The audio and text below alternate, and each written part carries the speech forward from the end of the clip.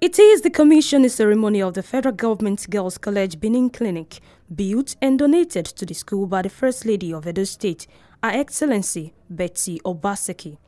Gathered here are dignitaries from all walks of life, among them old girls of the college. Generous contribution of this edifice not only signifies the importance of healthcare in education, but also reflects the First Lady's dedication to ensure access to quality health services for all.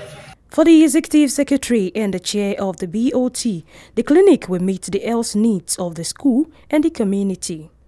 And so what you're going to see is a center that will provide promotive, preventive, curative, and some rehabilitative services. So there's a wing for teachers who be in the, within the environment, and there's a wing for children as well. There's a laundry service that will take care of all the laundry needs. There's a laboratory, there's pharmacy, and there's a treatment room. The chairperson of the Board of Trustees of the school commended the initiative. As this center is commissioned today, I pray that it will be a center that would lead to the well being of the students, the school community, and all those connected to them in one way or another. The secretary to the state government who represented the governor of Edo State, the 84-year-old founding principal of the school, and the foundation set tutor extol the virtues of Her Excellency Betsy Obaseki. Every time the first lady of the state is having a program, that's coming to my mind. All will you be remembered for? This is one woman who all of us we remember her for especially her exceptional love for the gay child. Not just Federal Government Girls College, her passion for the gay child. I'm overwhelmed. I'm so happy. This is a school that I attended from the very beginning. Today, we witness action. We witness what human beings, human beings who are committed to their work, who want to leave a legacy, can do.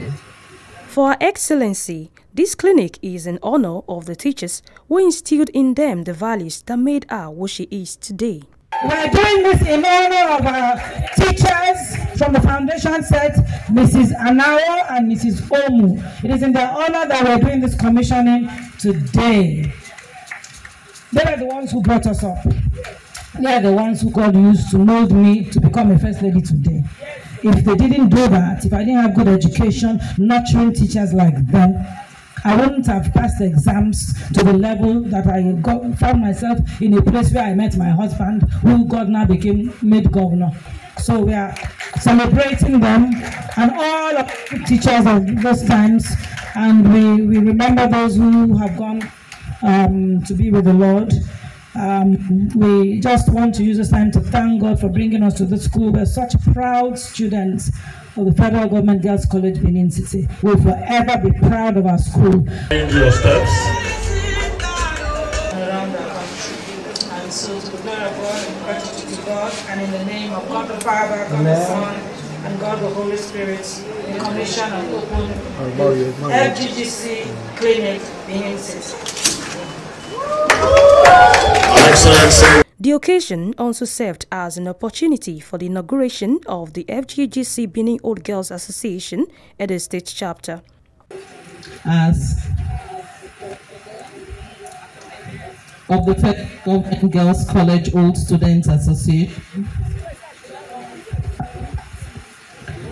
Other highlights of the event include science project presentations and cultural dances and award of prizes to best student of the school. Esther Owolabi reporting for Super FM News.